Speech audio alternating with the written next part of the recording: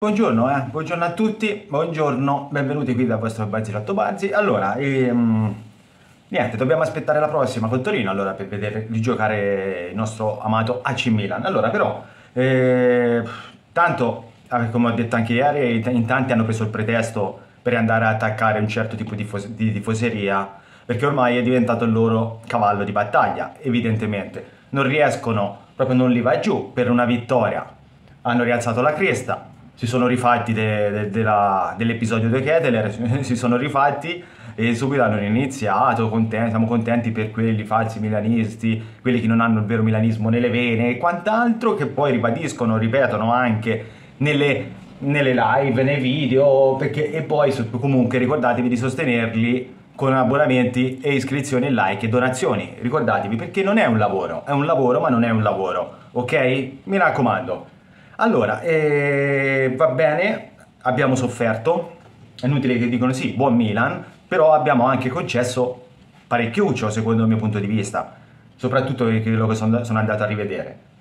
Eh, sono contento per Krunic, Reinders eh, 100 su 100 proprio eh, su passaggi completati, sono contentissimo perché anche eleganza, cattiveria agonistica, eh, a, a, atletismo nelle gambe, va bene, sono contento perché è un signor giocatore e mette ordine, ma quello che ha stupito è anche Krunic, che nonostante tutto viene ancora criticato. Ecco, quando viene messo nelle condizioni come eh, lunedì sera contro Bologna, lasciando stare dei frangenti che ora con la regia vi mostrerò, pronta regia, che ora mettiamo e mandiamo in onda, eh, comunque il solo fa. Come filtro, come interditore di centrocampo, ragazzi, Krunic è uno dei migliori che c'è in Serie A non potete, ovvio, che non potete pretendere che faccia giocate alla Iniesta, alla Pirlo, alla, alla che ne so, di, prendetene uno che vi pare. Allora, per pronti proprio vi fa vedere una cosa, perché noi poi andremo a soffrire molto questa stagione, molto, e un po' come sarà la fotocopia, anzi, forse soffriremo ancora di più, perché regia intanto venga, venga, metta, inserisca, grazie, in video impressione, perché finché ci regge la fase atletica, perché ora non mi dite le scuse, siamo a agosto, è tutto da aggiustare. Guardate qua, settimo secondo, settimo secondo. E questa cosa qui si è ripetuta spesso durante la partita, come si è ripetuta anche lo scorso campionato.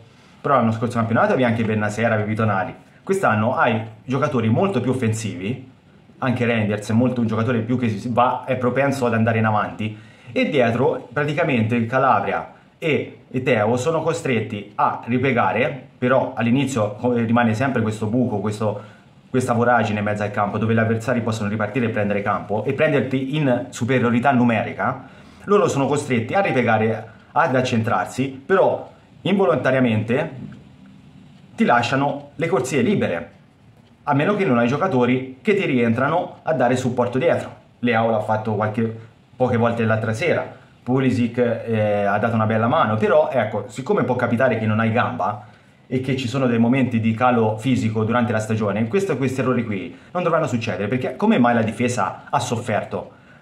Da poca sicurezza, poco tranquilla di suo, però vedete che quando è così la difesa va a soffrire di più, perché? Perché viene puntata in velocità e quando la difesa viene puntata in quel modo va sempre in difficoltà.